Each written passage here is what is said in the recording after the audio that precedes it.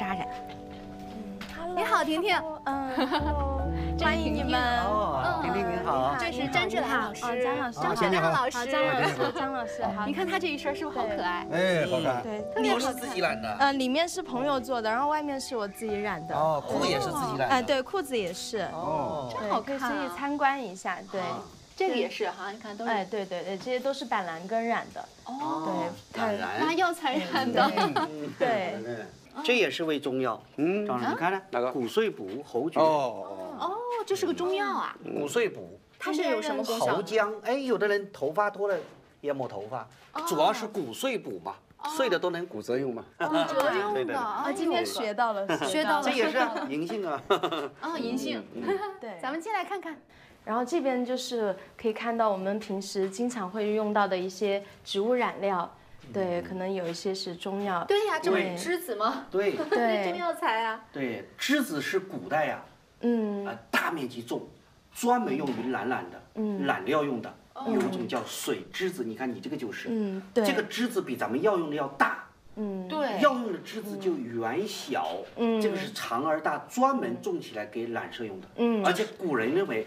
这种栀子不能入药，有小毒。嗯 哦，叫水栀子。水学习到了。嗯，这个黑豆衣也是中药。哦，就叫黑豆衣。嗯，因为养血祛风。就是黑豆的皮儿吗？对 对对，黑豆的皮。嗯，养血祛风的。哦，这个石榴皮其实也是中药。嗯，也是收涩的，脸的。槐花也是中药。哎，很多吃辣椒吃多了，肛门痔疮出血了，槐花是个非常好的止血药。懒黄呢，你看。嗯。槐花，咱们有个方子叫地狱槐角丸，就是槐的角果实，果实也入药，槐花也入药，槐米也入药。嗯，我们这个有个有个中成药，叫芦丁，就是从这个槐花当中提的花后，很多眼睛视力出血的，用它止血效果很好。嗯，所以它也是。苏木也是个中药，咱们中医科学院西园院有个方子，里面有苏木，治疗心脑血管的。它还可以接，它还可以接骨。对，骨折，接骨，哎，骨折，哇，哎，这个哦，还有鸡血藤，对，这个张老师，咱们之前节目讲过，对，嗯，这个鸡血藤就是豆科的蜜花豆，主要产在广西呀或者邻近的别的国家，嗯，这个一刀砍下去流的血一样，像鸡血一样，所以叫鸡血藤，是不是拿来染红的？对对，是吧？那个颜色，对，棕红色。这个说起这个染色啊，嗯。我有一年去山西，嗯，黄芪中药材有个非常有名的中药叫黄芪，对，这个黄芪呢有一种特殊的规格，叫黑皮芪，就是染的。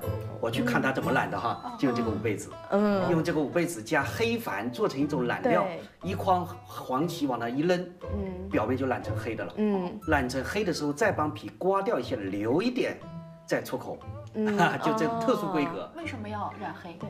这个要讲它的历史，最早呢是东北的芪，在民国时期发现它比较好，但是黑土地长的芪皮黑，这样的别的地方就要模仿这个黑，所以就有了染色，这么来的。但是发展到今天呢，又成了新的功能了，不需要再染了，但是还要保持这个传统干嘛呢？因为黄芪容易蛀虫，这个东西加了黑矾之后染过啊，不容易蛀虫，它有防腐作用。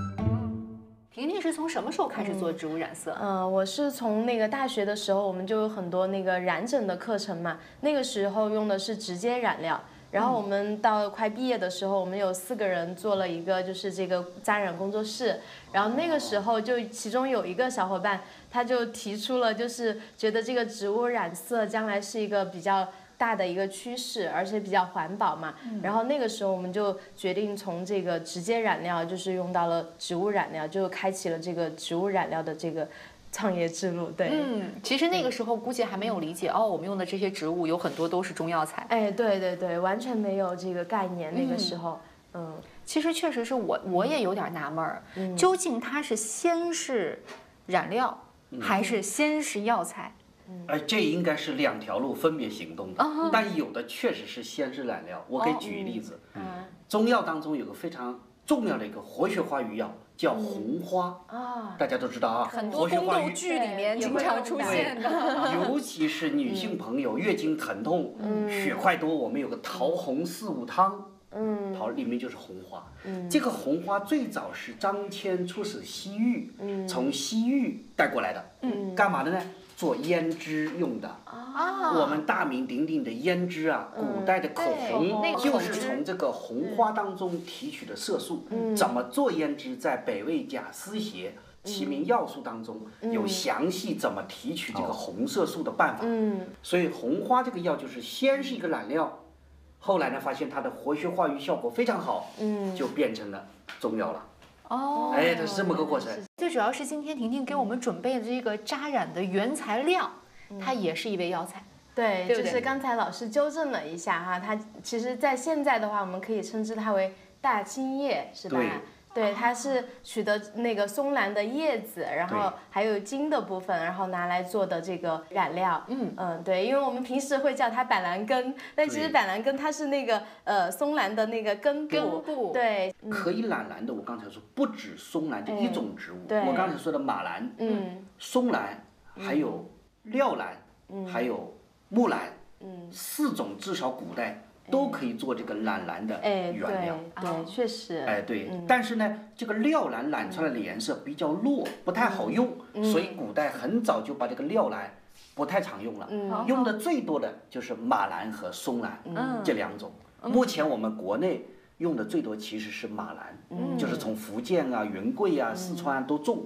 这个马蓝，它的这个色素含量比较高，对，它的效果比较好。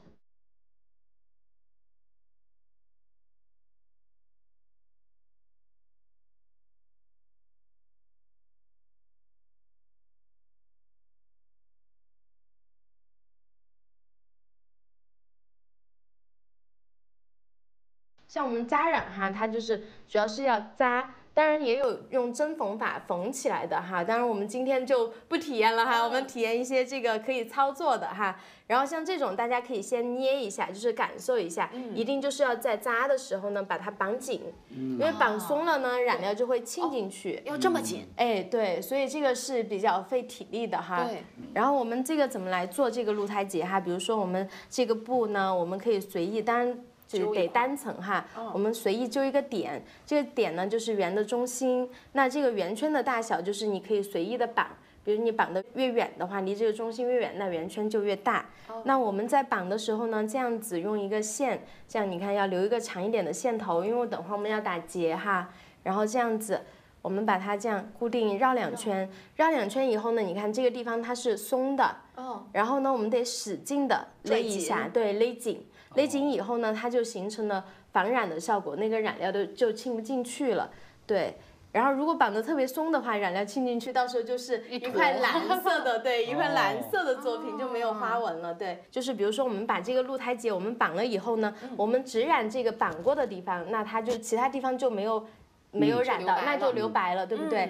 那它这个中间就有点像那个我们的柠檬片一样的，这个就像我们这样一个圆圈，那也可以全部放进去染。那就像我们这种周围它就是这个蓝的，对，所以可以有不同的染法，然后通过不同的染法，它有不同的这种设计。所以扎是一种设计，然后染色也是一种设计，可以通过不同的方式来呈现。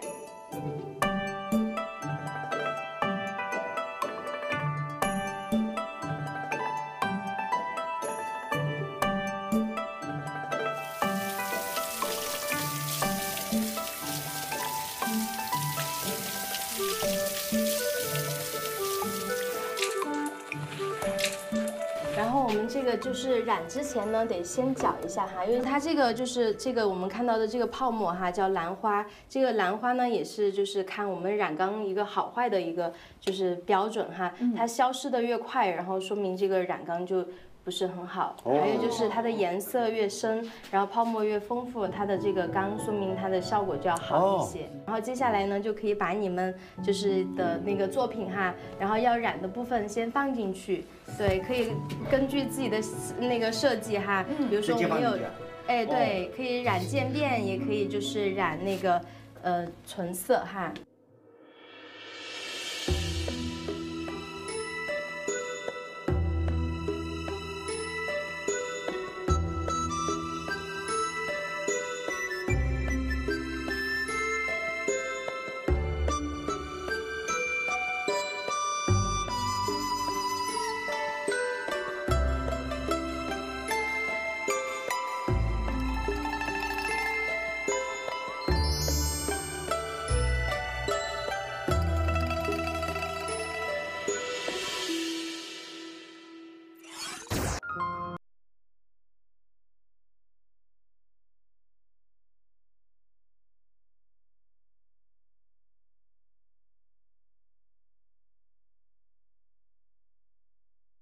现在我们来到的就是马兰的种植基地。哦，这个就是我们用于清代生产的原料。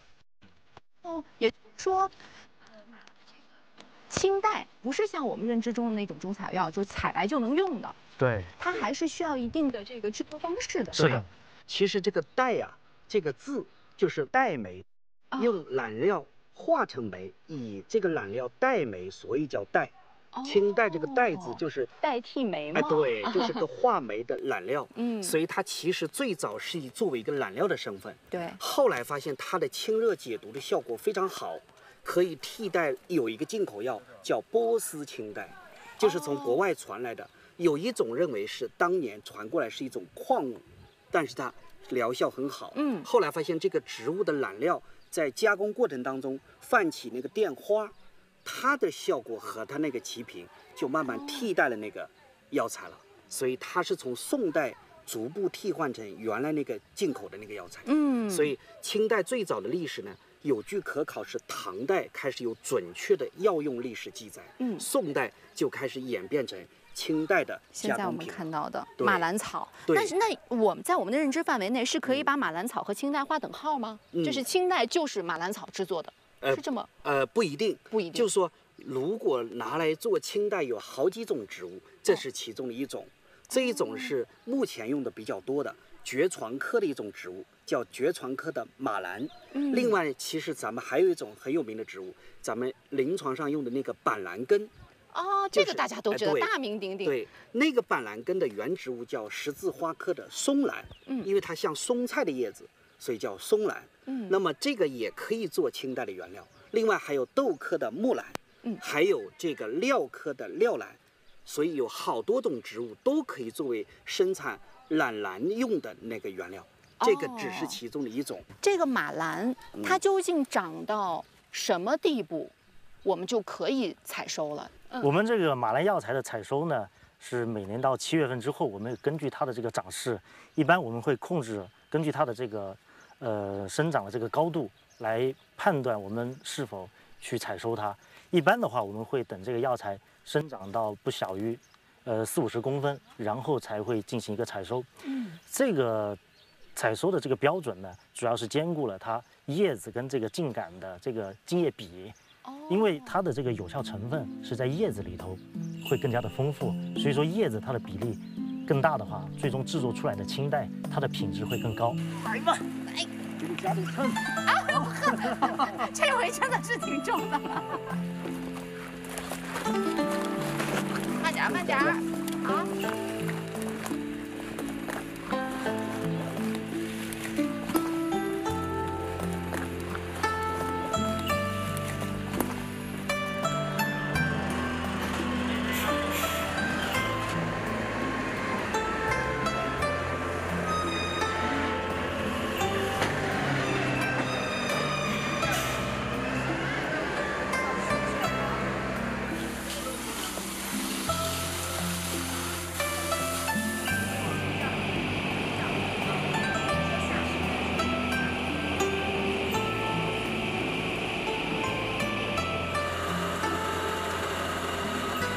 现在我们看到这个环节，就是整个清代生产最关键、最核心的一个环节，嗯，打电。大家看到现在这个池水是碧绿碧绿的，一会儿加入石灰乳之后，那么它就会有一个神奇的变化。嗯，我们等着神奇的变化，见证奇迹的时刻。见证奇迹。好，看到吗？你看，最开始就有点黄色，黄色的，然后跟到黄后面，你看就开始出现红了。芥末已经变成蓝色了。你看。黄，然后开始就有点紫红，然后蓝就出来了，好漂亮啊！它其实是一个化学反应过程，嗯，就是这个石灰水啊，其实就是碱水，嗯，碱呢就把刚才叶子里头泡出来成分呢水解了，啊，这个里面的成分实际上是，呃，银朵的一个结构母核，嗯，连一个糖，嗯，这个糖呢被这个碱性给水解掉了。裸露出它的羟基，在空气当中氧化，再缩合就变成这个蓝色的颜色了。这个蓝色的，您看到这个蓝色的，就是靛蓝，靛蓝这个化合物的颜色。这几个反应过程，我们有有一个几句传统的这个术语。啊。第一个加进去之后，它会出现鸡蛋花，就是黄色，黄色，然后开始会有茶汤色，就是它黄了之后有一点红，红，就有点像茶汤色，所以它就是你要看浸泡，浸泡的这个效果，嗯，也就是要看它石灰乳加进去之后这个反应的颜色对不对，是不是符合这两个颜色的变化，哦，这也是。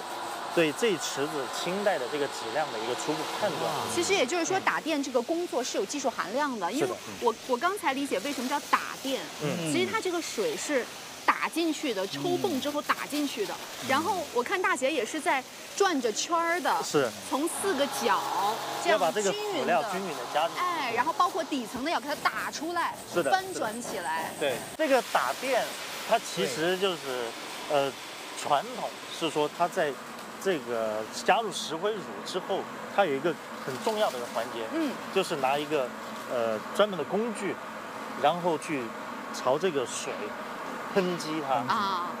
它入水的角度也有讲究，它的目的就是带入更多的空气，去加速它的反应。但现在呢，我们已经呃用这种专业的这个设备，就不需要再用人工拿这个木棒。来喷击了，我们是底下有专门的这个呃鼓气的装置，用这个压缩空气来让它在里面进行一个搅动啊，代替我们传统人工的这个呃搅拌。因为它这个反应当中有一个关键环节，氧化，氧化必须得有空气当中氧气的参与，对，打进去，所以它原来就靠打，现在呢改革了，它这个工业化设备底下它就铺有管道，对，吹空气。这样它的反应的又起到搅拌均匀，对然后又带入更多的空气，让它的反应更快速，效率更高了。对，是。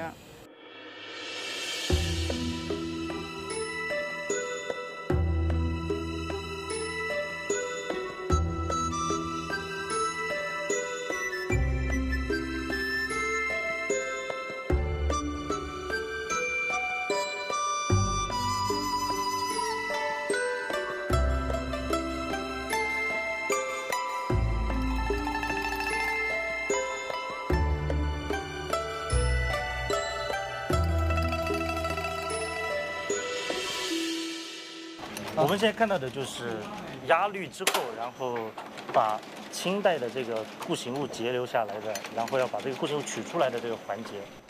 我没看懂固形物在哪儿呢？固形物就是在两个板之间，对，掉下来了。对，等于是用这两个板子中间的这个压力把它挤掉的。对，因为现在我们是处于一个打开的状态，正常运行的时候，所有板子它全部都是挤在一起的。哦。用很大的这个压力挤在一起，然后我们。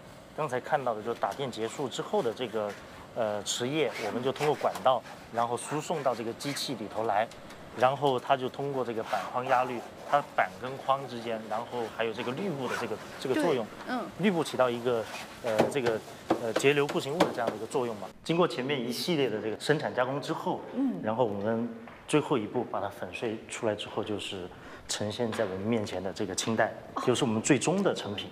它从形式上来讲，应该是苦寒，哦，还有点咸，咸寒，是这个咸吗？哎，中医说的咸，就是中医不管是甘、甜、咸、苦，不管是哪一个，嗯，都是既可以指味道，也可以指作用。嗯，凡是有软坚散结作用的中药，它都有咸的，就是都归咸类。嗯，哎，可以这么说。这个清代呢，就两个字儿，一个是咸，第二个字儿就是寒。凡是寒性的东西，你要说它什么功效，大家一推就推出来。嗯，寒性的第一个作用，清热解毒，解毒，清热解毒啊。第二一个叫凉血止血，这人出血，不管是鼻子出血、舌头出血，还是尿血，还是哪里出血，中医讲把出血分为寒和热。太虚了，抓不住血，比如气虚抓不住血，血就跑。嗯，这个时候就要用补气的，叫补气来止血。嗯，但是你体内有火，也会出血。这个火会推着血乱跑，三天要流鼻血了，哎，中医上火了。中医叫什么呢？叫破血妄行。嗯，这个气，这个火推着血到处乱跑，叫破血妄行。妄行，哎，旺旺啊，随便走，不要轻举妄动的妄。嗯，所以说他治疗哪一类的出血？是很简单，破血妄行型的。哎哎，因为它能凉血，它镇定下来。哎，所以它第一个词叫凉血止血。第三个作用叫除烦定惊，因为它是凉性的，所以火大的人心烦，一天到晚坐不住，六神无主的，嗯，也可以用。嗯，所以说我们可以概括为叫三大主管。那张老师这么大的池子，嗯，哎呀，我很好奇里面池子好大哦。对，这个泡的是附子。哦，在里面泡着呢。对对对对。拿什么泡？它是用胆巴，就氯化钙。氯化钙。氯化钙。氯啊，氯化钙。它主要是一个防腐的作用，因为附子它是高淀粉的一个。我们采收回来以后清洗了，然后就用胆巴泡的，就防腐。哦。然后就为了做下一步的产品，它就是一个原料的储藏，储存作用。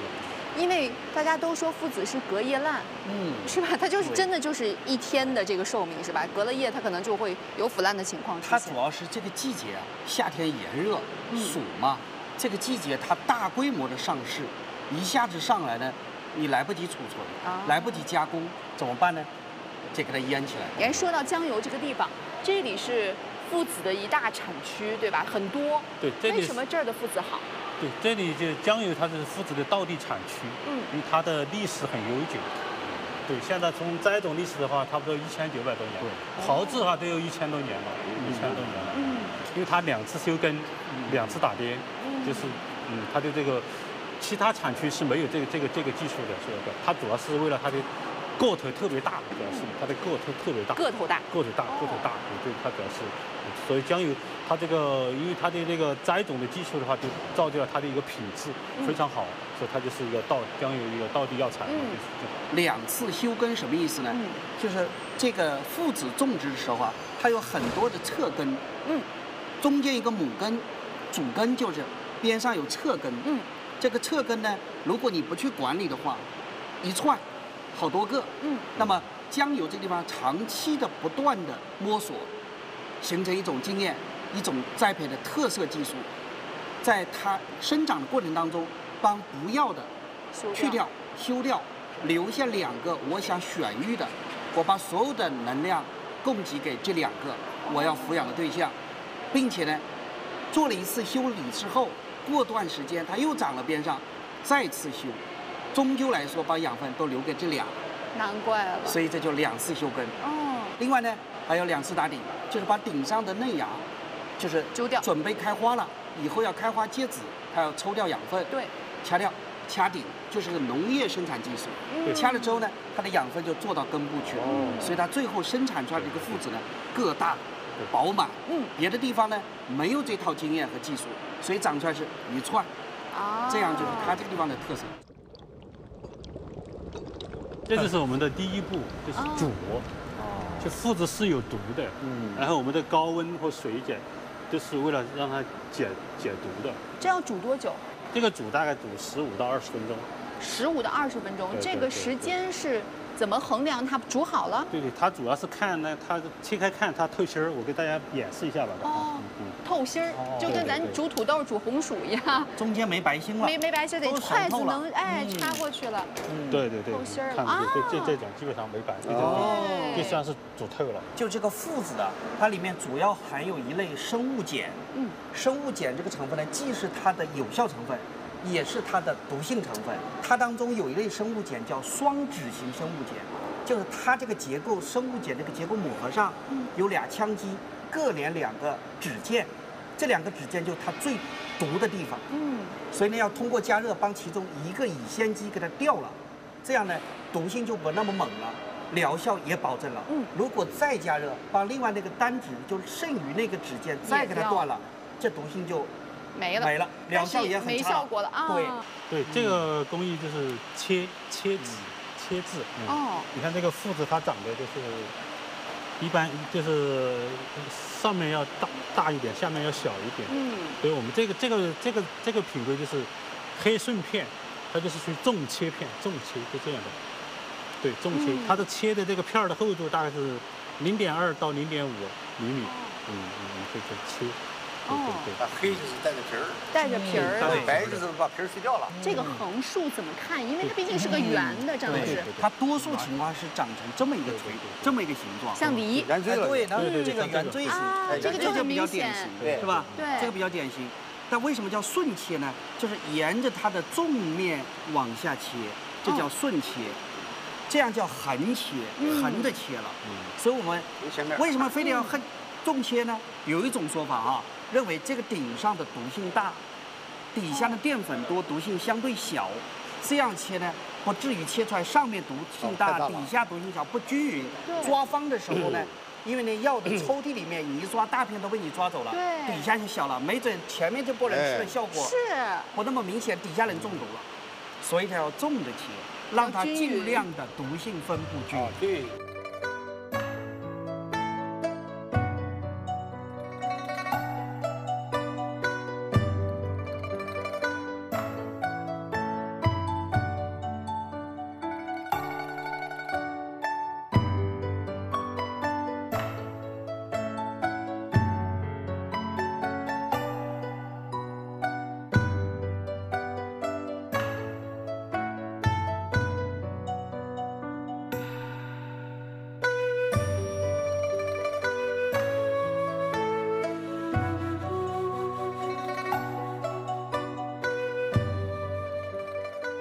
那么我们川帮的这个炮制，对于大黄的炮制而言呢，也是非常有特色的。它充分体现了我们的复制法。复制呢，就是反复炮制的意思，就是按照一定规定的程序反复炮制，这是一种情况。第二种情况就是加几种辅料，这个也称为复制。哦。为什么要把大黄炮制的这个那么多的品种呢？这么多的规格呢？因为是功效。不同，它有发生。临床上对大黄用药要求不同，嗯，那么就对大黄的这个炮制情况、炮制品的规格，它就有多种多样。哦，它的这个功效，大黄是一个泻下通便的，它专门是一个苦寒泻下的药，在大承气汤里面，它就经常用这个，嗯用这个呃生大黄。但是它有一个缺点呢。就是运用过后，它苦寒伤胃而造成腹痛，嗯，有这么一个情况。为了消除这个腹痛的作用啊，同时又保持它的泻下作用，我们都往往呢，我们就要用这个九大黄。我们叫以热制寒，引药上行。对，饮药上行。对对，久治身体，引药上行。嗯，所以说我们中医高度常常说的上病下取，它有这个说法的，上病下去，下病上去，它有这么一些治疗方法。那么这个。它这个呢，就是一个是它还保持着一定的泻下作用，比生大黄比起来，它的泻下作用要弱一点。嗯，哎，要弱一些，它作用向上是这么一个情况。那熟大黄呢？熟大黄它这个蒸的过程当中就比较长了，它蒸的过程就要可能要蒸三十二个小时。它泻下不是以泻下为主了，嗯，它是以它这个活血呃为主了。通便不是它的主要功效了。哦，它这个这个寒性就更弱一点了，是吧？它温温和一些，温和一些了，温和一些了。对的，对的。嗯，这个是是一个。那么还有一个大黄炭，大黄炭呢，它就主要是一个止血作用的。哦。止血的，它的功效是止血。它怎么都都成炭了呢？就是是就是要大黄炭，就是要炒制。真的是炭味儿。就是要炒制它表面成炭，外内部成性，就是我们中药。传统的术语叫草炭成性，对，那么它还有一定的清热作用，但是它主要功效不在，呃，通便了，而是在清热止血了。如果一味的炭化，你只是止血，它清热的作用都没有了。哦，就是不能彻底炭化，哦，表面炭化，里面还没有。哎，里面还有，哦，等于我纯性，我搓一搓，可能它里面还是大黄的那个样子。哎，还有还有那个作用，但是它不是以泻下作用为主了。那么九制大黄就是这个就是复制了，反复要针九次。哦，针九次。也称为九蒸九晒，这这个九制大黄啊，它是里面说我们每一次把它蒸晒过后啊，就是把拌拌一定量的酒，嗯，它每次拌百分之二的酒，就是它要把百分之十到十五的酒要全部拌进去，就如此反复的方法，嗯，九制则称为好复杂，九制大黄，对，称为九制大黄。这个九制大黄啊，它的泻下作用就更弱了，它的作用在是在于。再有这活血降脂了，现在有很多人用九制大黄来治疗那种血脂高、高血脂、降血脂，嗯，降血脂方面。那这九制大黄不就等于把九大黄弄了九次吗？对吧？哎，你这个只只做了一次，它是炒的。对呀，对呀。这个是用来蒸的。哦哦，还不一样呢，九蒸九晒，九蒸九晒，好复杂。蒸九道，晒九道。你看咱们今天胡老师也好，咱们也好，反复提大黄、大黄、大黄，是吧？对。当然，一般也念带黄。嗯。啊，大夫开方的时候不一定写这俩字儿。啊？我不知道四川的风俗啊。哎，在北方有时候就写军。写军，军子的军吗？哎，军。我们也军。哦，这个军人的军。军人的军，我写个生军，就生大黄。生大对。为什么写军呢？你看他的力量多厉害，像军部队。军队哦，他有个别名叫将军。将军哦，将军。为什么叫他将军呢？说他通变的力量比较强，有斩将夺关之力，对，所以有将军之称。对，啊，就是我们开，就是刚才那个张老师说的，那蜀军、九军、申军，对，哎，就是焦军有大黄土，因为我们在四川这个大黄炭和。炒焦、炒炭，它区别不是很明显，所以称为焦菌。胡老，我想问一问啊，咱说这个川帮的炮制工艺啊，这个和咱们这一片您说的云贵川这一块都产这个川药，是不是有关系的？是是的，也很有关系，因为川四川呐，云贵川它这个地理气候，嗯，导致了我们产的药材很多，这样子形成了一个是药材。道理性，另外一个呢，它的这个用药格局啊，形成了前面店，后面房，就在就在这个店里面，嗯，任药，哎，切药，草药。你看我们切药的人，你看这边肩膀高一些，你不注意看，因为经常切药的话，就就就把这个，就就就这种，就是这么一个情况，就构成了，呃，我们除了。我刚才讲的炮制复制法这一这一点，跟我们前店后坊的这个格局的形成，呃，有很大关系。嗯，呃，一个是跟我们道地药材产的比较多，还有前店后坊这个呢，就是互相保密那个时候，因为它要生存，我的我的方法不跟你说，说了我都把方法给给你了，他不像现在这样。这都是卖点。这都是卖点，知识产权。知识产权，哎，对对对。不但川派的大的方面它有特色。那么，但是它每个点每一个店，嗯，它也有特色，这个它形成的这么个原因呢，就为什么要形成呢？那也也就是临床运用对这个药物的要求不同，呃，不同而确定的。嗯，咱们今天其实一整天看下来的这个清代啊、附子，它其实都是用了这个复制法，嗯，来炮制的。对，咱们中药材里面还有没有别的药材也是用这样的复制法？有，嗯，像这个半夏。半夏包又分好多种哈，根据炮制的需求不同，分为清半夏、法半夏、姜半夏，还有足利半夏，还有发酵成半夏曲的。你像这个法半夏里头又加石灰水，又有加甘草水，所以它就不止一种辅料，所以它辅料也多，程序也多。嗯，所以它做出来的产品呢，呃，风格也不同。根据实际上它还是为临床服务的。对对对对对，都是为临床服务的。是。比如说我刚才讲的那个大黄的话，它有。除了我们刚才讲到的，就还有二十四支大黄，哦，还有十五只大黄，十五只大黄还要加十五种辅料，熬着水把这个大黄拌匀，又蒸一道，又把二种辅料加起，加十五种辅料，嗯，二十四支大黄还要加二十四支。哎呦，我的天哪！这就他就把那个，我经常跟他们开玩笑说的这个，你就把大黄炮制成一朵花了。胡老，您看您提到中药炮制。这么有兴趣，津津乐道。那当年听说把您调到这个中药炮制研究室的时候，您是不太乐意去的。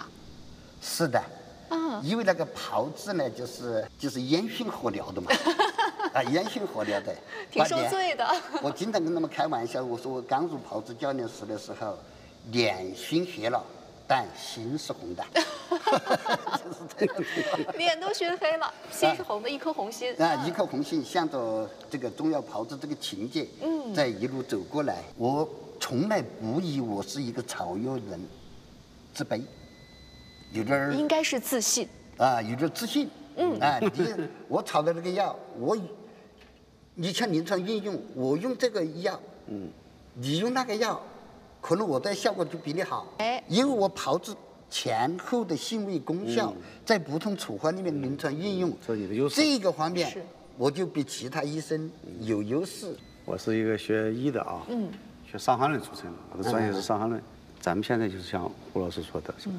这个医药有时候分得太清楚了，学医的人往往不去了解中药，对，更不去了解它的炮制啊什么的过程，啊，这是一个缺憾，呃，多去了解了解这个中医的炮制学，包括药理学，啊，这个中医中药方面的知识。我的药性熟了，炮制前后的功效熟了，我的辨证施治熟了，再再加上我这个用药以精准性了，它的疗效就会很快的提高。是，所以我经常说的，中医真的生存靠疗效，没有疗效你博大精深就。文化没有载体的，真的没有载体。是，所以胡老，你看，这个中药材的炮制手法这么复杂，我现在就有一个担忧：究竟现在这个传承问题，或者说我们现在中药材的这个制作方法，还能传承用原来咱们川帮的这些复杂的工艺吗？我们这个通过就是刚才张老师说的，就是通过一些科练的程序，一个科练的手段来缩短、简化这个炮制工艺，做减法来。使濒临灭绝的炮制品，我们把它抢救过来。哎，我现在正在做这个事儿。嗯，咱们现代呢，比传统来说呢，有了更多的物理化学分析的技术。以前呢，主要靠眼看、鼻闻、舌尝，这父子还要尝一尝，好对，原来是靠感官的方法来控制我炮制的终点，炮制到什么程度，并且呢，倒过来来控制它的炮制工艺。那么以前说温度。哦，手一摸，嗯，烫到这种程度可以了。那么到底多少度呢？对。那么所以呢，我们现在有了更好的一些个检验的设备，那么能够帮这个过程加以客观化的控制。第一步呢是把传统先还原，第二步呢根据还原的过程，帮参数用现代理化的方法呢给它加以表征。对。有了现代的表征之后呢，再能够帮原来的方法呢逐步逐以一些简化。适应于大工业生产，嗯，这样呢，我想呢，就很多传统戏其实并没有消亡，只是用另外一种形式得以呈现出来。所以这个呢，我想我们这一代的，呃，工作者最重要要做的就是。